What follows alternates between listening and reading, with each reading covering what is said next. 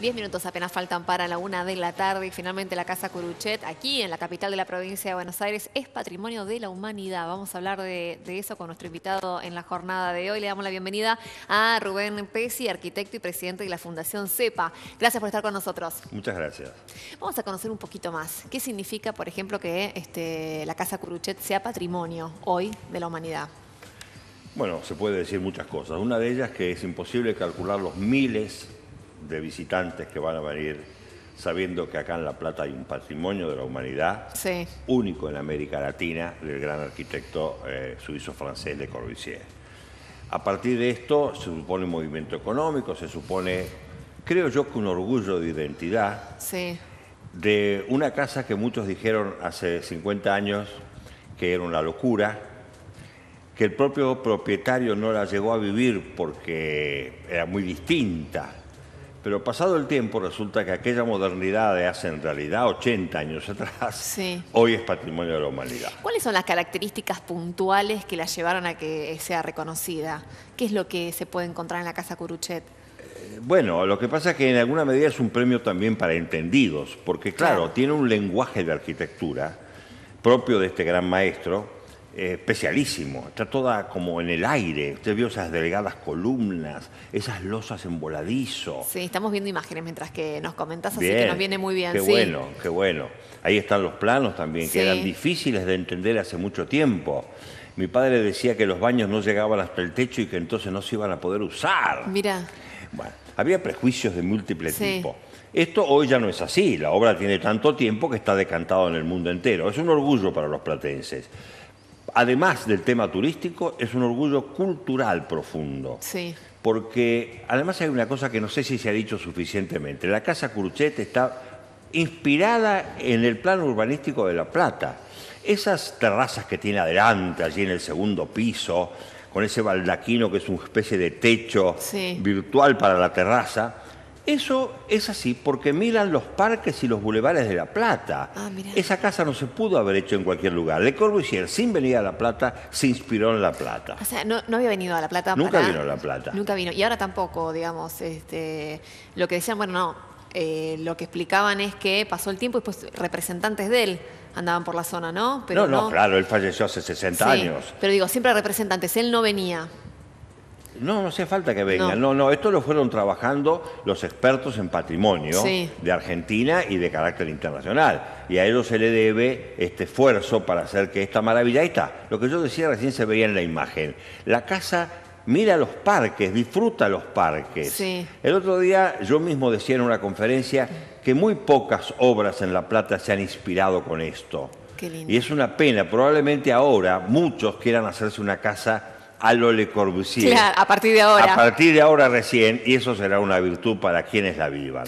Bueno, a su vez también tengo entendido que este, estás luchando para que la ciudad de La Plata en su conjunto sea un patrimonio de la humanidad. ¿Eso será posible? Yo creo que con este lauro ahora obtenido es más cerca, es más posible. Ya estamos sonando en el escenario internacional. Ya tenemos una casa patrimonio de la humanidad fruto de Le Corbusier. Y como decía antes, como Le Corbusier se inspiró en el diseño urbanístico de La Plata, en realidad tenemos que crecer de estatura y de jerarquía y decir, la propia ciudad de La Plata es un patrimonio de la humanidad. ¿Y eso basado en qué? ¿Cuáles son los puntos más importantes que nos podrían llegar a posicionar en ese lugar? Bueno, eh, para todos los platenses tiene que ser muy simple. Sus bulevares cada seis cuadras, sus plazas cada vez que se encuentran dos bulevares, sus diagonales de tránsito modernísimo, su arbolado, que a pesar de que un poco está dañado, es único, su cantidad de áreas verdes por habitante, sus servicios higiénicos desde el momento de la fundación, sus 20 palacios monumentales que tienen algún deterioro, pero que todavía están allí y bien. Es decir, es un trazado urbanístico de avanzada para finales del siglo XIX que sigue siendo hoy un trazado urbanístico de avanzada. ¿Y cuáles son los puntos que por ahí nos juegan en contra, como para que no, no, avance en ese sentido? Hoy.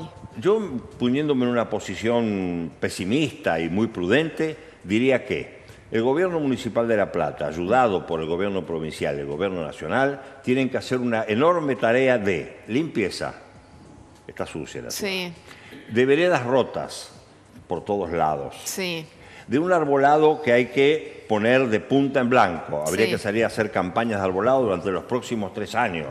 Y junto con esto, propiciar inversiones de turismo, de equipamiento, de educación. También hay que mejorar la periferia de la ciudad, que está muy mal. Y sí. Una cosa es hablar del casco, otra cosa es hablar de la periferia. hay como varios puntos que, que sobre los que habría que avanzar por el bien de todos nosotros y además pensando... Eh, esto vamos a movilizar un bien para todos nosotros. Claro, ahora hay que tener en cuenta todo lo, que, lo que genera eh, el turismo que va a llegar a partir de ahora, ¿no?